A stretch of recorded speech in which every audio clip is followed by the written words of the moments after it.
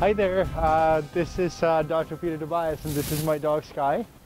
And today I'd like to teach you about how to play uh, tug of war with your dog safely. Now, the problem is that um, when dogs play tug of war, they would be equal power and strength.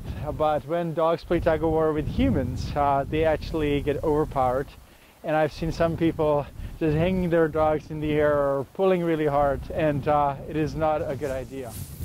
Basically, what you need to do is to remember that your dog is much weaker than you are, and that uh, dogs love to play tug of war. They don't really understand that they can harm their neck and their jaw and uh, and uh, cause severe injuries. So, what I usually do when I play tug of war with my dog Sky, I actually let him. You can see that I let him actually slide the leash, and I don't really hold on it roughly.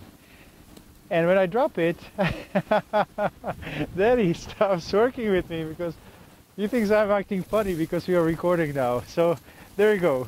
One more time. One more time. Pulley, pulley. Ah. ah. See, so I don't really hold on the on the leash too hard because if you do, then your dog's neck can actually be affected and uh, it can get out of alignment and the neck is really important for all the different uh, energy flow and functions in the body.